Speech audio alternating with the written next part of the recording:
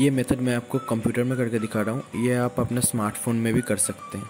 सबसे पहले आपको इस वीडियो का डिस्क्रिप्शन में जाना है। डिस्क्रिप्शन में सबसे ऊपर आपको जो लिंक मिलेगा, उस लिंक में क्लिक करते ही ये वेबसाइट ओपन हो जाएगा।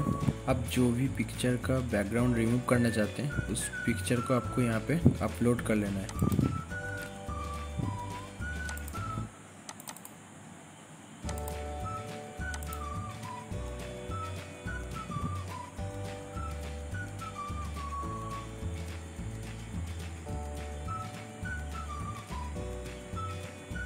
अभी आप देख सकते हो बैकग्राउंड पूरा रिमूव हो गया। ये ओरिजिनल इमेज था और इसका बैकग्राउंड रिमूव करके ऐसे आ गया। अगर आपको कहीं लगता है कि कहीं पे कुछ बैकग्राउंड में रह गया है तो आप यहाँ पे एडिट पे क्लिक कर सकते हैं।